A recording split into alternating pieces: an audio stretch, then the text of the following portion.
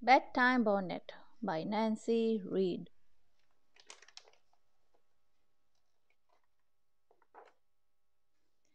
In my family, when the sun goes down, our hair goes up. My brother twists and tightens each of his locks. Sis combs her hair in a swirl round her head. Daddy's hairbrush makes rows of black waves appear. Grandma rolls up her silver mane.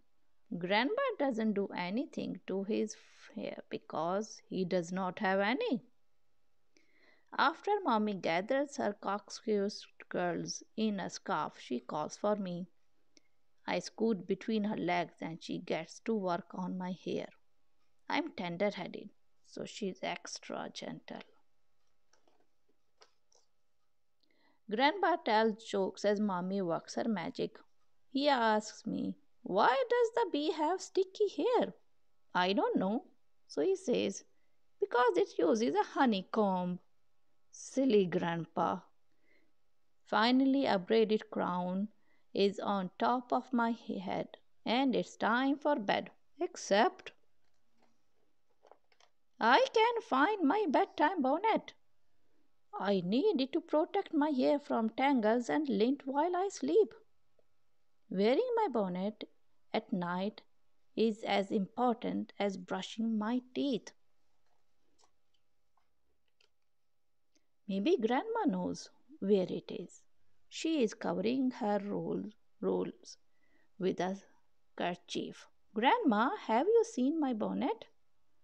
She gets up and looks around. No, dear, I have not. Maybe your sister knows. My sister is still in a bathroom, her hair spun in a wrap.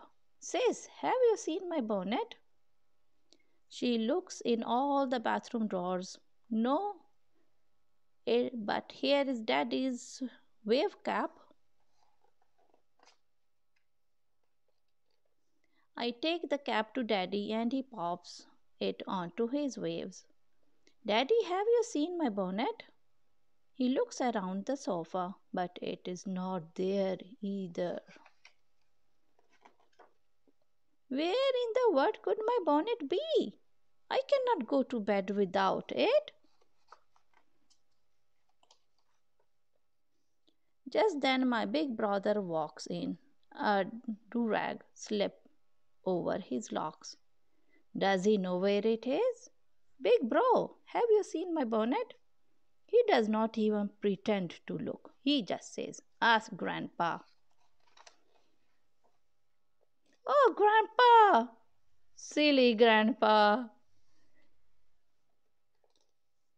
My bonnet is now in the proper place and I'm ready and I'm really sleepy. Everyone gives me kisses and hugs, and mommy and daddy read me a story. Good night, family. In the morning, when the sun comes up, our hair comes down. Daddy smooths his ocean like waves. Mommy scratches her ribbony curls.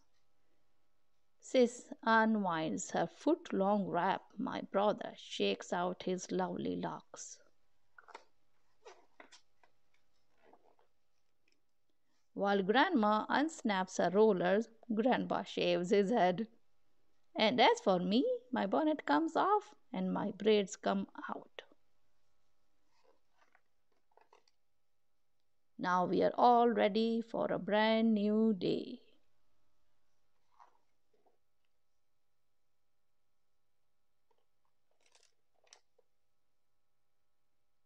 Hope you like the story. See you again next time. Bye.